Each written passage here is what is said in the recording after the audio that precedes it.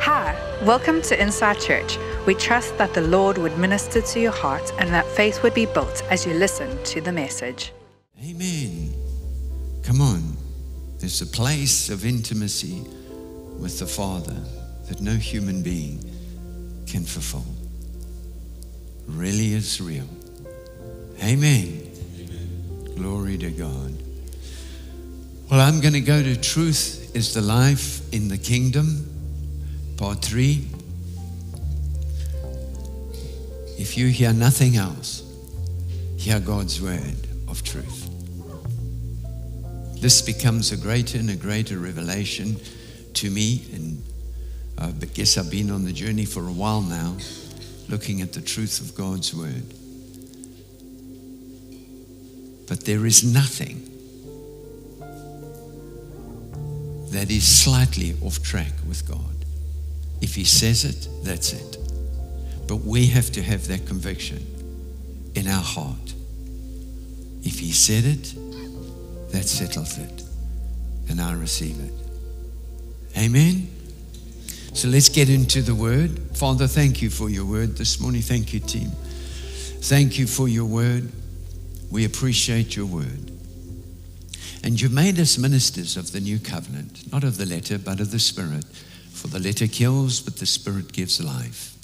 And so we thank you this morning as we open our hearts to hear your word.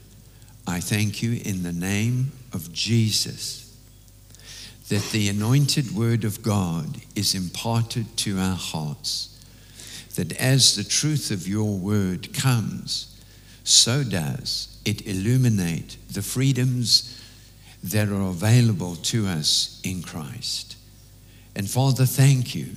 The truths of healing, the truths of peace, the truths of sound marriage, the truths of the returning King, the truths of walking in dominion in this hour when things in the earth look so bleak. We thank you, Father God. It becomes ever more glorious for us as we walk in the truth of your word. We give you glory and honor and praise this morning. And thank you that as we hear your word, faith grows because your word said so. Faith will grow in our heart. And so you empower us by the truth of your word for greater and greater exploits in the kingdom of God and bringing hope to a lost and a dying world. In the precious name of Jesus, we bless you for this now and give you all the glory and honor. Amen. Amen. Amen. Will you turn with me this morning, family, to. Um, did we greet the revival center? No, let's greet the revival center as well as they're going to feel. Amen. Welcome, Revival Center. Welcome. Glory to God. You might be sitting next door, but you're part of the family still. Amen. Because thank God this morning, like all every morning, when you get up with Jesus, there's no distance in the spirit realm. Amen. Amen. So I want us to look at Matthew 5, verse 13 to 16. I'm saying this and I'm saying it carefully. Will you become obsessed with the truth? You know, we're obsessed with all kinds of opinions. We're obsessed with philosophies in the earth. But will you become obsessed with the truth of God's word? So that God's word and God's word alone will stand the test of time for your life. Amen? Amen. And here we go. Matthew 5, verse 13 to 16. You are the salt of the earth. That's not a request, that's a statement of truth. You are, whether you feel like it or don't, you are, because the Bible says so, you are the salt of the earth. But if the salt loses its flavor, how shall it be seasoned? But if the salt loses its flavor, how shall it be seasoned? It is then good for nothing but to be thrown out and trampled underfoot by men. You are the light of the world. Think about that. That's what the Lord calls us. This is Jesus speaking. You are the light of the world. A city that is set on a hill cannot be hidden. Nor do they light a lamp, a type of your life, and put it under a basket, but on a lampstand, and it gives light to all those who are in the house. That's your life. That's your life. Now you can see why it doesn't matter how you feel. It's what the word God word of God says about you and you align yourself with these truths. Not when you woke up this morning, looked in the mirror and didn't think you had a good hairdo. Amen. Amen. Let your light so shine before men that they may see your good works and glorify your Father in heaven. Let your light so shine. We're not talking about walking around like a glowworm. Truth reveals light. Amen. Let your light so shine before men that they may see your good works and glorify your Father in heaven. Then I'd like us to read verse 17 to 20. Now, in Matthew, um, and particularly in the beginning of the Gospels, there's a lot of reference to the kingdom of heaven. So these are truths. And the danger is that we move on from them because we now mature. You never move on from being the light of the gospel. Amen. Do not think, Jesus speaking, verse 17 to 20, do not think that I came to destroy the law of the prophets. I did not come to destroy, but to fulfill. For assuredly I say to you, till heaven and earth pass away, one jot or one tittle will by no means pass from the law till all is fulfilled. That's the promise. Till all is fulfilled. And so sometimes when we see, when we see the, the chaos in the earth, we think, where's God? God's at work in those that believe him, and he's unctioning those who don't believe him. But the Bible tells us, and that's what we believe, the Bible tells us that everything will be fulfilled. In other words, every prophetic word that has been spoken by God, that has been put down on the pages of truth as men were moved by the Holy Spirit to pen things down, so it shall be fulfilled. Whoever therefore breaks, listen to this, whoever therefore, he's not talking to pastors, he's talking to people. Whoever therefore breaks one of the least of these commandments and teaches men so shall be called least in the kingdom of heaven. But whoever does and teaches them, he shall be called great in the kingdom of heaven. By declaring to your brother and sister, you are the light of the world, you are declaring that very thing. Don't look for truth that you think would wow the people. Bring truth that is real about the salt and the light. There's nothing with great, there's nothing wrong with great revelation of the end time. But these are the truths that keep you on the road and will make you run this race with faith and patience. When the enemy comes with condemnation, remind him, I'm the salt. Now, you may remember nothing grows in salt And that's part of the context of what we're speaking of here. Because doubt and unbelief cannot grow in a salty believer. Come on, family. Doubt and unbelief cannot grow in a salty believer. Come on, we really need to remind ourselves of these. Then he says, For I say to you that unless your righteousness exceeds the righteousness of the scribes and the Pharisees, you will by no means enter the kingdom of heaven. So it's interesting that um, Jesus draws a parallel to religious people and says, if you're going to be religious, you're not going to make heaven. This is about truth. This is about knowing Jesus as the Lord and Savior of our life. So the Bible has many teachings instructing us how the kingdom functions. And that's what I want you to get this morning the simplicity of not me personally that's the that's what the holy ghost has been prompting me for many, many months, probably some years now. Just walk in the truth, son, and you'll be free. Now, when you say that, it's great, but when you go out there, then there's nothing but lies, and then we can allow ourselves to be contaminated with the lies of the world instead of the simplicity of truth.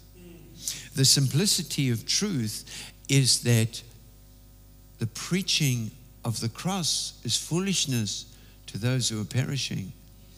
But to those who are being saved, it's the power of God. Are you with me? So that's why I'm saying the Bible has many teachings instructing us in regard to how the kingdom functions. And we must align ourselves with it, how the kingdom functions, not how Incite Church functions. There is, there is a place where we, we know, you know, we don't write on the walls, we don't function like that. Those are simple, basic things. But this church must function in line with the kingdom. Otherwise, you'll never come to a true kingdom understanding in your life. Because the kingdom of God is within you, it's not an outward expression. Okay? Now, one day when we get to heaven, that's the place where God resides. That's a different conversation. But right now, the kingdom of heaven is at hand and it is in us if the Bible says we are seated in Christ Jesus in heavenly places, then the kingdom's within us. Must be. And we have the authority. You cannot be an ambassador if there's no kingdom. You see, what happens with mankind, and they did it with Jesus. When Jesus came into the earth, they wanted to make him a king. He was already a king. But they didn't see the kingdom of God. They saw a natural authority that will run around with a sword cutting off people's ears. Not that. That's not the kingdom. So he said, My kingdom is not of this world. He said, I'm not here to establish a natural kingdom because God is spirit. But there will be an outworking of the natural. Am I making sense to you this morning? Help me, Holy Ghost. So Jesus comes into the earth from the Father.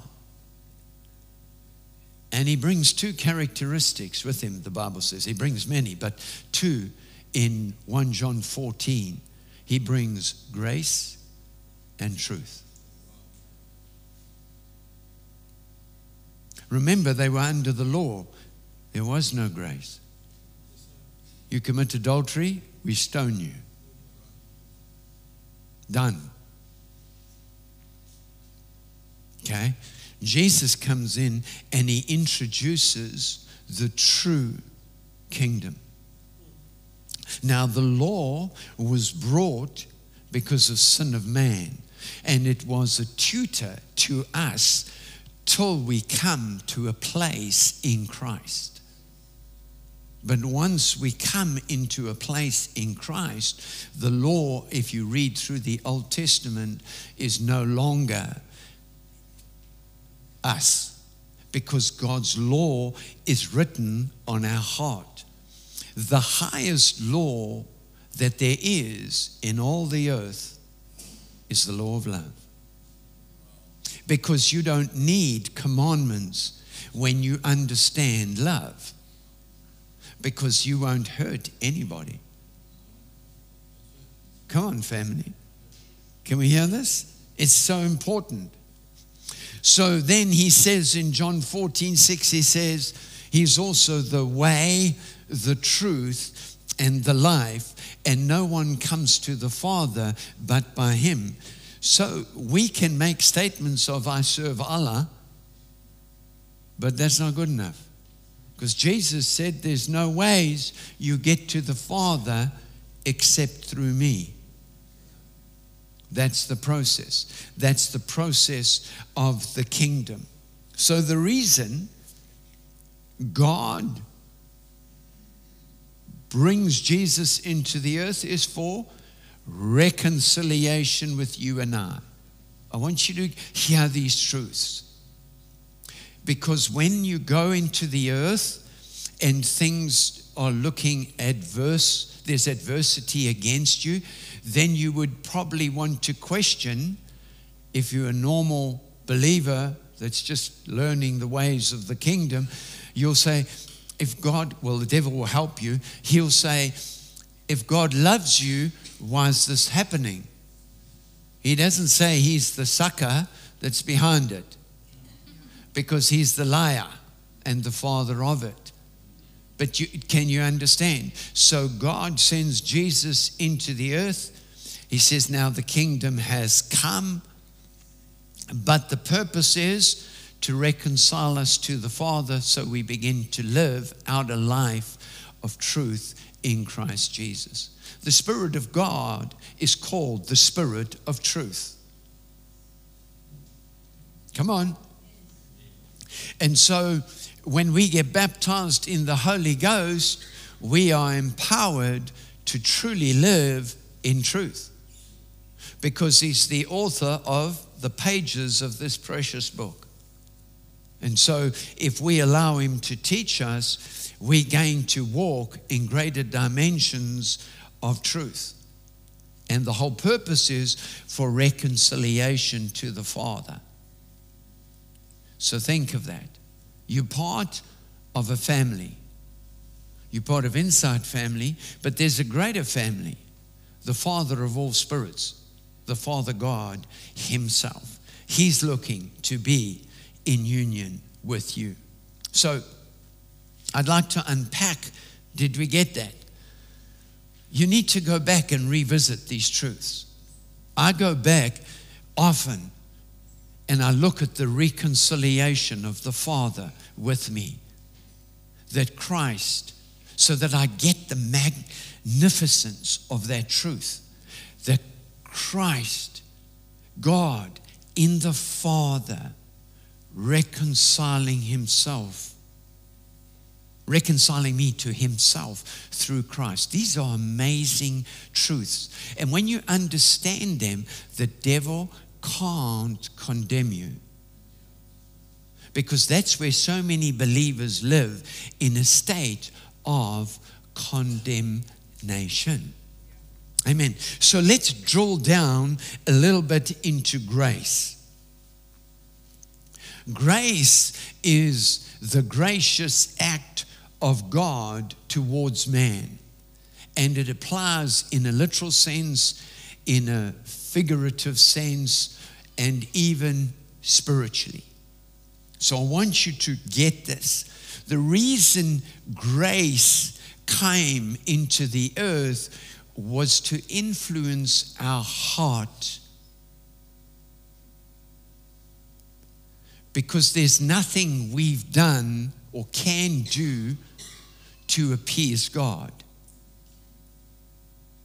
It's, it's, it's the most amazing truth that He loves us in spite of us, He draws us in spite of us. He asks for nothing in return, but we can't please Him. But the Bible does say that faith pleases Him because that's an outworking of our love for Him. So people say, I don't want to hear about faith. I'm not interested in this faith stuff. Well, how do you please God if you, you don't please God through prophesying?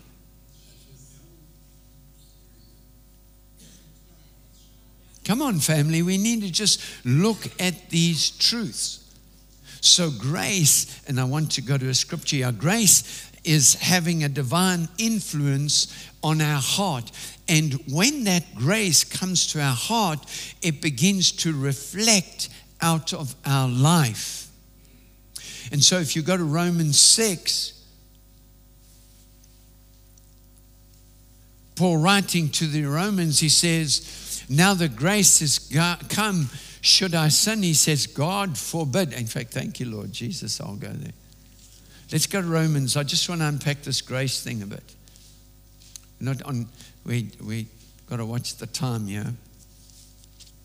I think we should get to the stage where you're sitting in the windows and you fall out and you die. We hear so long, and I just come out, pray for you, and you come alive again. Amen. If you knew your Bible, you know what I'm talking about. I want you to see this. Just this was not in my in my notes, but I just sensed by the Holy Ghost. Um, well, let me go. Let me go. Okay, it, Lord. Uh, let's go to Romans 5, verse 20 and 21. Then we'll drop down into 6. Moreover, the law entered that the offenses may abound. You see, you cannot reason God's word. What we are reading here is truth. Listen. Moreover, the law entered that the offense might abound. The Bible says that if there was a law by which we could have been saved, then that would have been done. But there is no such law. Okay? But where sin abounded, grace abounded much more. So, in other words, the stinging nettles of sin are nullified. So that as sin reigned in death, even so grace might reign through, listen carefully, righteousness. Not grace to sin, it's grace to righteousness. Because we have nothing we can bring to the Father in our own. That's why this body cannot go to heaven, because it's contaminated. And so we, when you and I go to heaven, and when we caught up with the Lord, if we if if we caught up and we don't pass through to through the death realm and just get caught up by the Lord, en route, in seconds, we get a resurrected body that has no sin on it. Look at this. So that as sin, are you getting this stuff? This is a bit hard on a Sunday morning so that as sin reigned in death, even so grace might reign through righteousness to eternal life through Jesus Christ our Lord. And we know that getting saved, this eternal life has begun. Amen. Remember, it's not breathing. Eternal life is not breathing. Eternal life is reconciliation to God. I don't know if spirits breathe. I'm not there yet. I don't know what happens to spirits, but I imagine they breathe because Jesus ate food, walked on the earth, etc. Then drop down verse chapter 6, verse 1, and Paul brings such a profound truth to us. He says, what shall we say then? Shall we continue in sin that grace may abound? Because we think that grace is an excuse to live in sin. And it's not. He goes on to say, Shall we continue in sin that grace may abound? Certainly not! Exclamation mark. How shall we who died to sin live any longer in it? Or do you not know that as many of us as were baptized into Christ Jesus were baptized into his death? Therefore, we were buried with him through baptism into death, that just as Christ was raised from the dead by the glory of the Father, get this, even so we also should walk in newness of life. Grace. That's the truth. So we walk in a newness of life. Amen? Got it? So truth creates the environment for faith to function. Faith cannot function in deception, in untruth. It cannot function there because its source of life is the word of truth. You can have a natural faith. If I came here and I sat down on this chair, I would be exercising faith, but it will be a natural faith, not a spiritual faith. But what we're talking about here is a spiritual faith where we speak the word of truth, which then, as Jesus prayed in John 17 17, sanctifies us, sets us apart for a life in the kingdom of God, which is different to what everybody else is living throughout the earth. And then it sets, it's this very faith that sets, and you must get this, it's this faith that sets people free. Are you with me? You will see religion, they are not free, yet they're reading the Word of God but they're reading the letter. They're not aligning themselves with the Holy Spirit. Amen. And so it's important that we understand that. So, faith, you may buy a car through faith. You may. That's not wrong. But that's the lowest level of faith. Faith is how to believe that I'm reconciled to God my Father that I can walk into the throne room of God and whatsoever I desire, when I pray in the name of Jesus, it shall be given to me. Though a thousand fall at my side and ten thousand at my right hand, it shall not come near me. That's what faith is for. The other just is added as you go through life, for your Father knows that you have need of these things. Amen. Now, because of our numbness and dumbness, the Lord brought the word of faith to a place where we had to learn just how to believe God for a job. And you should use your faith all the time. But do you understand? If you're a true man of faith, you will never, woman of faith, you will never be unemployed. Now, that's a tough one to swallow. I'll go there, Lord.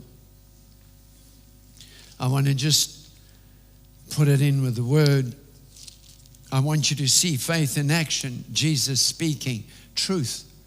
Most assuredly, I say to you, whoever believes in me, the works that I do, he will do also. And greater works than these, he will do because I go to my Father.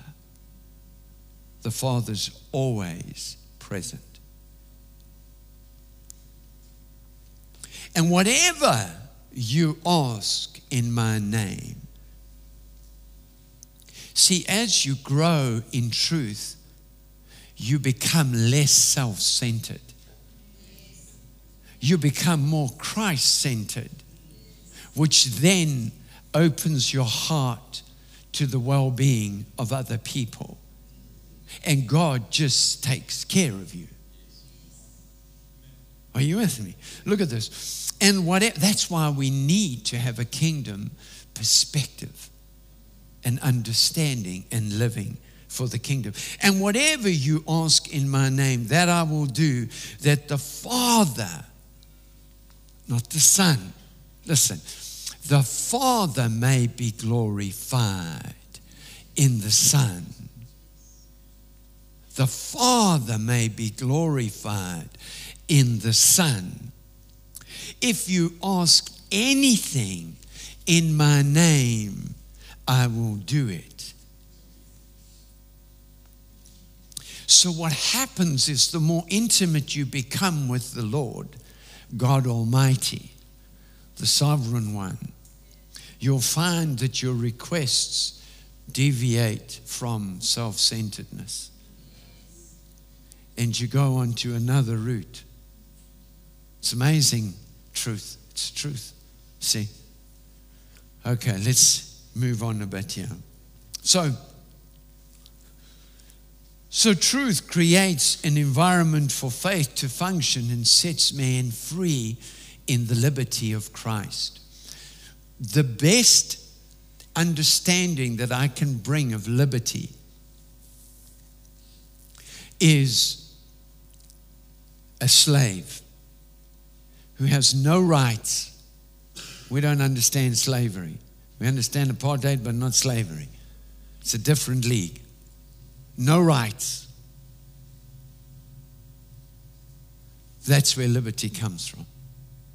That's the, the where you had no rights. You didn't realize this, but you had no rights to life outside of Christ. It's only when, if we go to a lost eternity, sorry to be sounding a bit morbid, but it's the reality, we go to a lost eternity that the demons beat the hell out of the spirits down there. They're not having braaivleis, they are the braaivleis. When I was unsaved, we used to joke and say, Well, we'll see you on the other side. We'll have a braaivleis in hell together. We didn't realize how foolish we were. And by the grace of God, He heard that, but He forgave me. The power of the blood of Jesus. Amen. Amen, family. It's, it's just amazing. So, I want us to look at some more scripture and then we're going to start going to um, you know, maybe I can get all these scriptures out quickly. I've still got a few more minutes. Um, there are more scriptures that I'd really like you to see. So, the liberty, and please try and understand this. Listen to this message so you get the truth. The liberty in Christ is a catalyst to provide us with self determination. Do you know what the world's fighting for? Self determination. Every nation self determination. Every ethnic group, self determination. Yet God has given it to the church within the context of heaven. Did he not say, Go into all the earth? Did he not say that? That's self determination. Within the lines of truth, within the boundaries of truth. And those boundaries are limitless if you stay in truth. So, a self determination and an independence, living in autonomy outside of sin. Do you understand what I'm saying? That there is, there is no sin that can hold you. There is no sin. I don't care how dark it is. I don't care how you feel, it's got its tentacles in you. Truth and the blood expels it. That's a fact. That's the truth.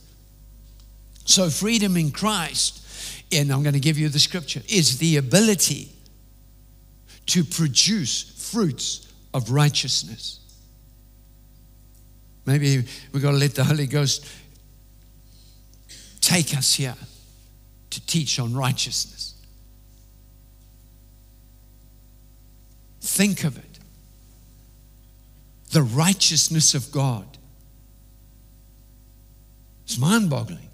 That's who we are. You better understand God has confidence in His word when He makes statements like that. And we look at our lives in the mirror and go, Really, Lord? Really? Really? Really? That's our status in God. So, freedom in Christ is the ability to produce fruits of righteousness through a spirit led lifestyle. Go with me to 2 Corinthians 9, verse 10. 2 Corinthians 9, verse 10, and we'll give you scripture so that you can see this. He, now, he, now may he who supplies seed to the sower and bread for food supply and multiply the seed you have sown and increase the fruits of righteousness. Is that what the Bible says? Who am I going to believe? The Bible. Now he may he who supplies seed to the sower. Now I know this is used as a financial tithe and offering message, but I want you to see what is the true seed? The word of God. The word of God is the true seed. Jesus said, The word is seed. He spoke of sowing seed, the word, right? So let's look at Philippians 1, verse 11 as another scripture, just so that you've got these references. If the enemy comes and wants to put out a whole lot of lies again, just rebuke him. Um, in fact, I'm going to go right up. It's, it's a bit of a long read, but I'm going to go up to Philippians chapter 1, verse 3, Paul is talking to the Philippian church um, because there's a few problems in the church. How many of you know you won't find a perfect church because we're all in the work in progress? I, uh, if you came here this morning believing you can contribute to the perfection of this church, praise the Lord, but you're not perfect. Amen. I thank my God upon every remembrance of you. Isn't that beautiful? He's talking, he's writing to the Philippians. Always in every prayer of mine, making request for you with all joy, for your fellowship in the gospel from the first day until now, being confident of this very thing, that he who has begun a good work in you will complete it until the day of Jesus Christ. Just as it is right for me to think of this of you all, because I have you in my heart. Insomuch as both in my chains and in my defense and confirmation of the gospel, you all are partakers with me of this grace. Isn't beautiful? For God is my witness how greatly I long for you all. I wonder how many of you would write to Incite Church like this if you were not here. We've lost value. We've lost value. And this I pray that your love may abound still. Wait a minute, where am I? I lost my way. Verse what? Verse 9. Oh, there we are. And this I pray that your love may abound still more and more in knowledge and all discernment, that you may approve the things that are excellent, that you may be sincere and without offense till the day of Christ being filled with the fruits of righteousness, which are by Jesus Christ to the glory and the praise of God the Father. I'll take that and read that letter to you as the Church of Incite. A godly life in an ungodly world is not a simple assignment. A godly life in an ungodly world, this is not an excuse for defeat. Listen to me. A godly life in an ungodly environment, the world is so ungodly, is not a simple assignment. It requires the wisdom of God to live life skillfully in this earth. Experience may help, but your battle is not against flesh and blood, but against principalities and powers. Amen. And so experience may help, but it's not it. We need the wisdom of God in living out this life in the earth skillfully. And to that, I want to go to the, the scripture we closed off on last week, which is such a beautiful scripture Proverbs 4, verse 18. Bump your neighbor and say, Now listen, this is truth. Get it.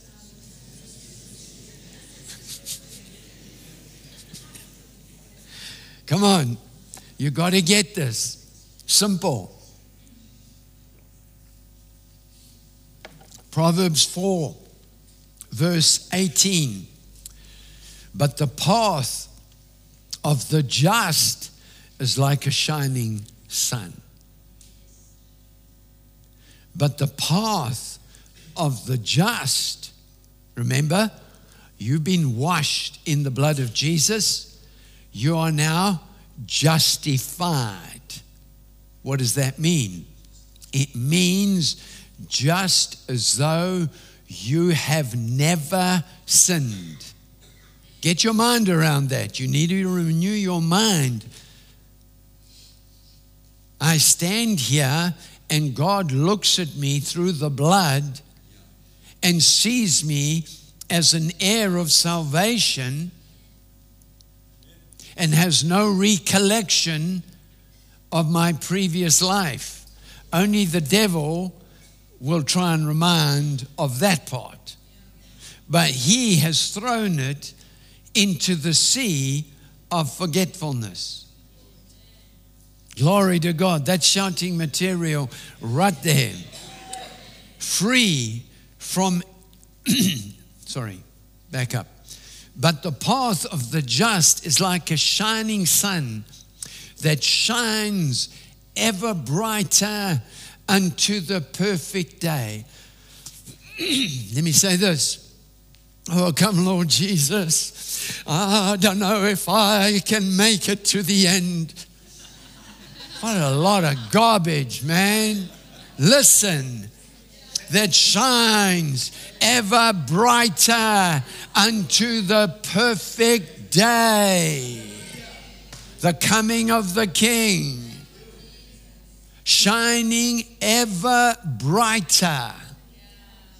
So you're not getting dumber, you're getting wiser. If you're in the Word, come on, family.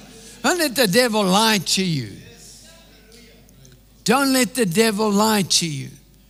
So I just want to smash that last excuse out before you go to lunch of why you can't do it. Here it is perfect free from any flaw or defect. You are free. You are free. Read Romans 8. I am free from indwelling sin. Sin cannot dwell in me if I don't entertain it. Come on, family.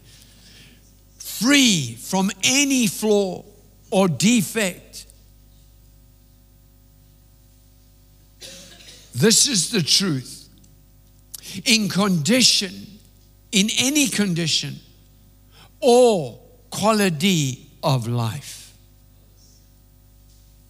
It doesn't mean there wouldn't be adversity to you, but as you take the truth of God's weapons of warfare from this word, you will nullify those adversities. But I've been trying for years. If you wait upon the Lord, please hear me, family, as much as I love you, I cannot entertain your words of death. The Bible tells me if I wait upon the Lord, He will, not might, He will renew my strength.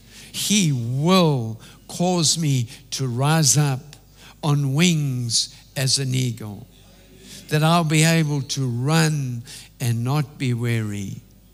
I will walk and I will not faint. That's the truth of God's word. So what I've just read here in Proverbs 4:18 is God's perfect desire for every born again believer. Jesus reinforced it when he said, in abundance to the full till it overflows. Meditate on these truths until your mind can only think God's way, not the world's way. You know, you go to a doctor and there's a condition. We're not knocking doctors, but there's a higher doctor whose report will you believe? You with me? You know?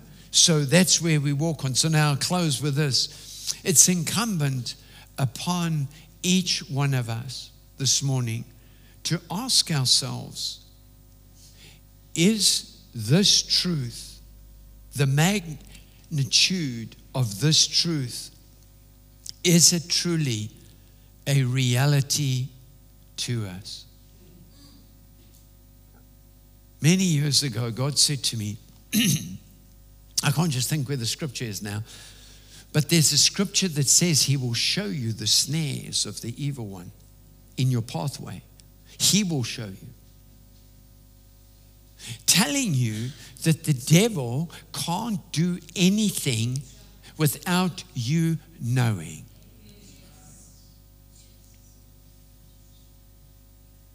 Come on, family. We must ask ourselves is this truth a reality in our life? What truth? but the path of the just. If you do nothing else but look at yourself for the rest of 24 and say this for plenty more until it becomes a reality to you, because it will go from your brain to your heart. Then it'll turn into faith, and faith will motivate your being to believe and do, free from any flaw, defect, condition in quality of life. You see, I cannot, as much as I would sympathize with you, sympathy won't bring you the truth. It doesn't mean I mustn't sympathize, but in while sympathizing, bring the truth bring the truth. Bring the truth. God bless you. Not the right scripture. It is Jeremiah 17:10. I ah, the Lord probe the heart and discern hidden motives to give everyone what they deserve, the consequences of their deeds. And Jesus highlights this with the lady that doesn't give much. And we, being materialistic and not necessarily seeing things in the spirit, we look at the, the amount that we give and we deem that faithful. And yet the Lord, He lays out conditions of how He wants your heart to look when you are generous. He wants He lays out conditions of how your heart should be when you are generous, when you are giving. Paul says this. He says, each one must give as he has decided in his heart. Not reluctantly or under compulsion, for God loves a cheerful giver. Why does Paul have to say that? Because there is room where you could be compelled to give beyond what's being prompted in your heart. You understand? There's, the Lord wants it to come from you. This is in a response to the relationship that you have with God. This is in response to the grace that's been extended to your life. This is in response to the love that's been poured out. You don't love God because you love God, you love God because He loves you. That's what it says in John. It's a response to what's taken place in your heart. And we can't live a religious life outside of faith, grace, and truth. What do I mean when I say that? We need to have an authentic relationship with Jesus. The reason that I'm giving is because I'm responding to the goodness of God in my life. Pastor Craig just highlighted it. As we grow in truth, we no longer are self centered, but Christ centered. The motivations of your heart begin to change. Maybe you start out pursuing riches, but in the end, you'll be pursuing Christ. Those are the true riches. That's what Jesus said. If you will not be faithful with mammon, how will you be trusted with the true riches? What are the true riches? It's the revelation of the kingdom of God. These are the true riches. And so I want to encourage you this morning when you give, and you must give. That's not a compulsion statement. That is, you must give. Paul instructs the church in 1 Corinthians chapter 16. He says, On the first day of each week, each one of you is to put something aside, store it up as he may prosper, so that there will be no collections when I come. What is he saying? He's saying, Church, I want you to put aside money every week. That's what he's saying to the church. That's Paul's instruction to the church. So that there wouldn't be any collections when I come. I'm just going to grab the bag of loot and I'm going to head out and I'm going to distribute to the saints as you've collected. But he's laid out conditions of the heart for this giving. And it's what? Not reluctantly, not under compulsion. For God loves a cheerful giver. You say, Josh, I don't want to give. It's not there.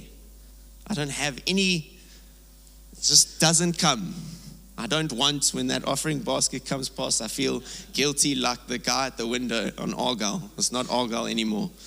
I don't know what it is. Masabalala Yengwa Drive the guy at the window, you suddenly you're checking that gear stick if it works. You can feel his presence there, but you just need to adjust that button there. I'm just going to ease forward a little bit. That, that giving, when you give to him, it's not because you love him. When you give to him, that's compulsion that's not flowing out of a generous heart. It's to ease your guilty conscience. That's selfish giving. Now, maybe it helps him and he goes and buys some bread, but the Lord's not interested in that transaction. He's looking at your heart. Do you actually care about that man? Do you actually love that man like I love him? Remember Jesus when you go out. There's a chance that they'll come and approach you. They want your opinion. Maybe they want you to fall into a trap so that they can attack you. Remember Jesus. That's who you represent. You carry the fragrance of Christ. How would he respond? Amen. So as we give this morning, respond as Christ would give. Amen. Thanks for watching. We trust this word takes root in your heart. To stay in touch, visit the website linked below.